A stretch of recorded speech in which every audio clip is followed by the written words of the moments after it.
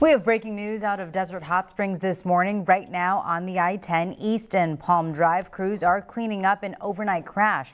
This happened just after midnight. Look at that. The CHP is saying an SUV was entering the freeway and began to fishtail in the rain and then lost control, crashing into the guardrail that resulted in a big rig on top of it. Look how severe that is. Cathedral City firefighters say a woman who was the driver, had to remove had to be removed from the car. She was transported to the hospital with serious injuries. The CHP has issued a SIG alert until about 5:30 a.m. because of this. Only the number 4 lane is open at the moment.